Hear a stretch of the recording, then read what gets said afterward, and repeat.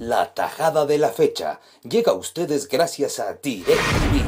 DirecTV te cambia la vida. Señor León, la mejor atajada de la fecha, el partido es el Fitness Group puro guapo. ¿Quién cree? El Thundercat Pérez. El Thundercat Pérez, a ver, veamos Mire el francés que que, le le pega. al No, François. Qué bárbaro, cuando Riverí Abad se ganaba la banda, zurdazo letal. Bien, Y con zurda, el Thundercat. Es un felino, qué bárbaro, Thundercat. Cómo ataja Pérez con el puño abajo, donde es difícil, donde hieren Sí. a los Y goleros. faltaban pocos minutos para que se acabe el partido. Qué atajada importante. Ah, Luego, Sí.